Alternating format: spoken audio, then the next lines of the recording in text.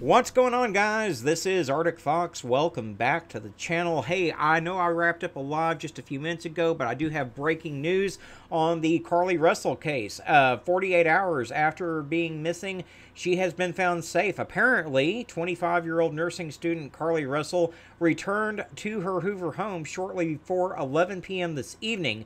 Paramedics and police were called after she reportedly showed up at the house that she shares with her parents. Hoover Police Chief Nick Derzis said that Carlee showed up at her parents' house alone. She was taken to UAB Hospital for evaluation. Police and family members previously said that she had been on her way home from work and picking up dinner at the colonnade when she spotted a young child on the interstate that she stopped to see if she could help. Uh, she was on the phone with her brother's girlfriend when the girlfriend reported hearing her scream, and the next thing the girlfriend heard was just the noise of the interstate traffic. Um, of course, there's been video footage that was released earlier, and there's conflicting information on what people can and can't see in that video. Uh, the important thing is right now that she has been found safe. She has indeed returned to her parents' home and she has been taken to UAB Hospital for evaluation.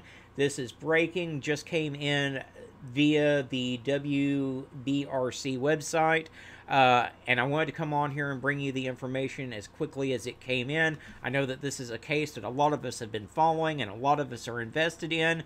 So that's the great news. I'm always glad to bring you a positive outcome in a case that has taken us by storm. So, great news. She's been found safe. She's in the hospital. There's no other details available at this time, but I did want to bring you that update. Guys, as always, I do want to thank want to thank each and every one of you for tuning in.